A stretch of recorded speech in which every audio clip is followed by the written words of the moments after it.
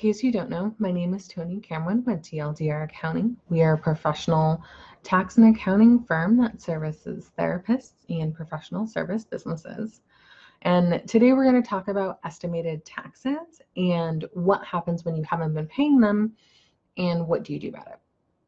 So, estimated taxes Q4 for 2019 are due on January 15th.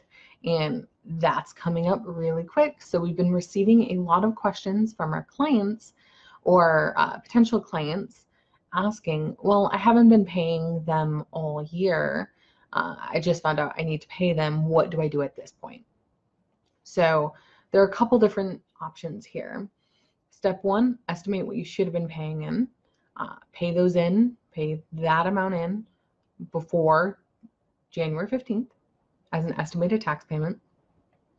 Um, the big question comes in well, what if I don't have enough money to pay that payment? And the, the uh, payment plans come up. So, payment plans are something you can set up online with the IRS, especially when you don't have the money to pay your taxes. Now, step one, you need to file your taxes. So we can't set up a payment plan for 2019 right now. You haven't filed your taxes, so the final amount of what you owe hasn't been done. So once we file your taxes for 2019 or you self file, at that point, you can then set up a payment plan with the IRS. Uh, the number one thing to remember is once you do set up a payment plan with the IRS, you must remain current with the current year. So 2019, we file your taxes, it's February. You get on a monthly plan with the IRS. For 2020, Q1 estimated taxes are due April 15th. So you're going to have to make sure that this is a one time thing.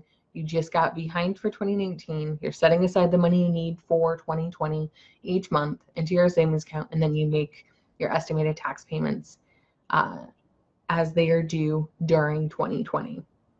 Now, depending on how much money you set aside during 2019, maybe when you make your Q4 estimated tax payment, you can pay off all the taxes you owe. And then when you file, you either owe a little bit more or uh, you'll get a refund or you can apply that to 2020. But the big thing is you can still make a payment to up until January 15th, and then you can pay the balance due on your tax return. If you don't have it, then we can talk about a payment plan and setting one of those up online.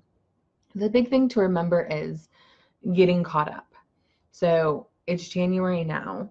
You should be setting aside money from your January income for your taxes in 2020. You don't want to keep playing catch up. So, say you set aside money in January, February, March, you use that to pay your 2019 balance, but now you're behind in 2020. And you don't, you just don't want that to start cascading. Um, my big thing is just get current to the current year and then you can get on a payment plan for the prior year get that paid off as soon as possible and then you're just good to go. You don't need to worry about it anymore and you have a system in place. Hopefully you found this helpful. Uh, if so like us on facebook follow us.